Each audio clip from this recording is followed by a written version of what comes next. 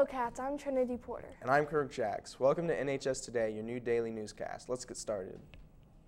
On Tuesday, December 16th, Wildcat News Studios will be holding an open house during the lunch period. Students interested in TV production, journalism, or technology can visit during their lunch periods to see the facility and meet the teachers. Seats are still available in the Intro to Digital Video course, fifth period next semester.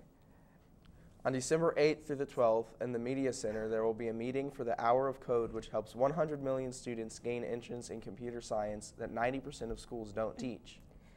December means it's holiday concert season. On December 18th, the second annual NHS Celebration Concert will be in the NHS Auditorium.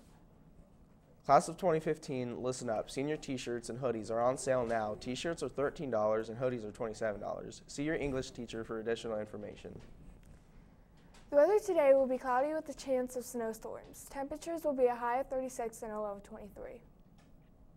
Well, cats, that's it for NHS Today. Remember, if your school organization has news, send your news tips to wildcatnews at laca.org and be sure to follow us on Twitter under the handle at wildcatnewsnet and watch us anytime at newarkcityschools.org forward slash WNN.